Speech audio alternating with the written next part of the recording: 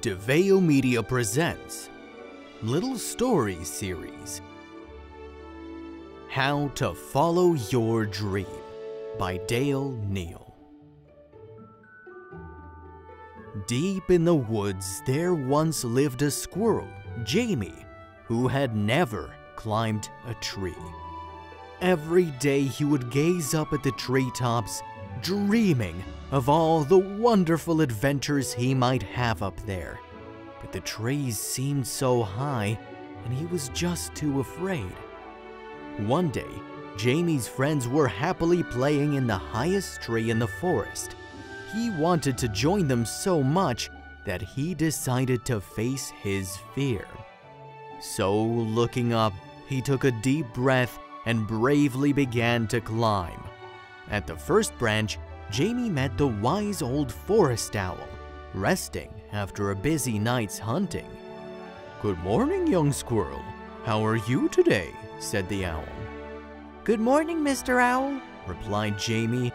This is the first time I've ever climbed a tree and I'm quite frightened. Don't be afraid, said the wise old owl. Just climb one branch at a time. You will face many challenges in the tree, but keep going for when you get to the top, you will receive a wonderful reward. Thank you, Mr. Owl, replied Jamie, and he continued to climb.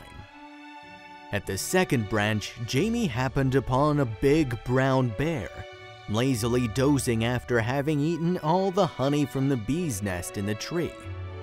Go back, squirrel, said the bear. I'm about to have a snooze. My belly is filled to bursting, and I will not be moved. How can I get past? Jamie wondered. Jamie noticed the bear's big bulging belly. That looks very bouncy, he thought to himself. Jamie dived onto the bear's giant bouncy belly as though it was an enormous trampoline. Yippee!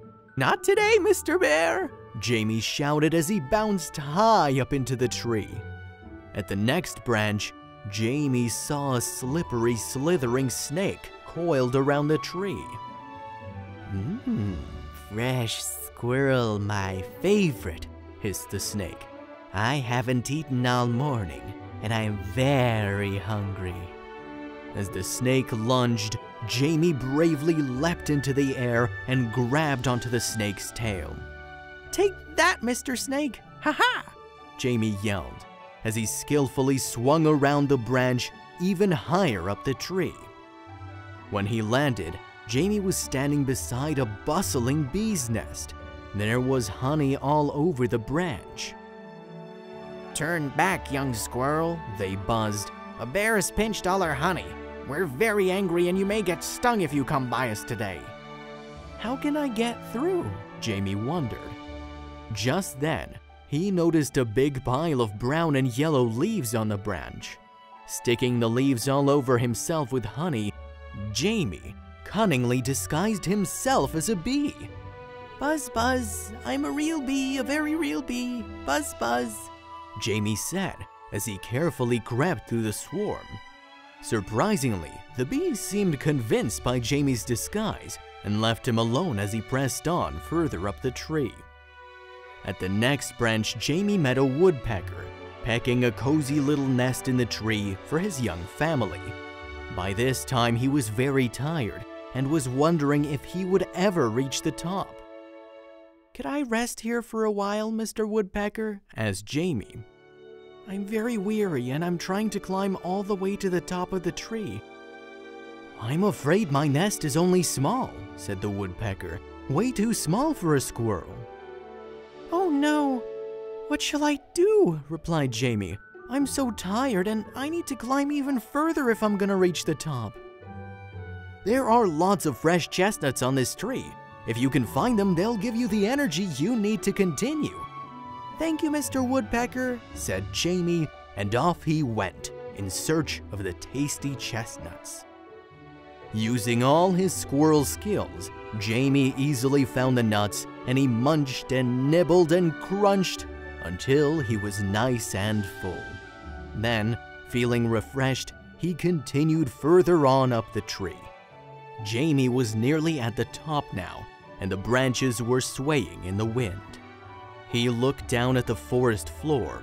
He was so high up that he was afraid to continue. Just then, Jamie's friends cheered down to him from the treetop. You can do this, Jamie! Come and join us at the top! Encouraged by his friends, Jamie looked up, faced his fears, and bravely climbed to the very top of the tree. And the wise old owl was right. Jamie did receive a wonderful reward. He felt fantastic, and he was no longer afraid. And as he sat with his friends to gaze across the lush green forest, the view was truly wonderful. The end.